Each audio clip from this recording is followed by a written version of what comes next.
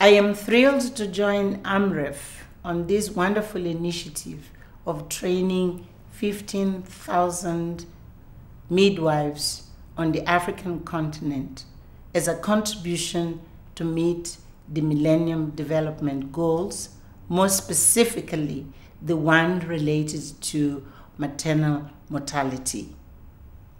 Of all the Millennium Development Goals, this is the one which is lag- lagging behind in a very shameful way.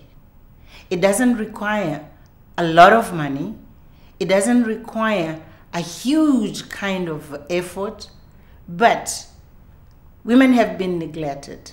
In many occasions, they take the last the last of concentration of effort to meet their needs.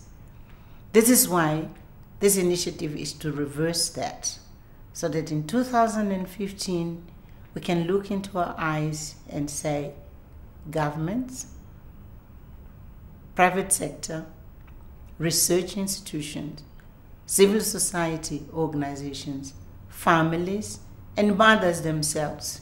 We have done our best and we could change the situation in which a birth becomes a nightmare but a birth can be a moment of giving life and also a moment of joy. Let's work together, and this can be achieved. And it is the challenge you and I have to accept. Thank you.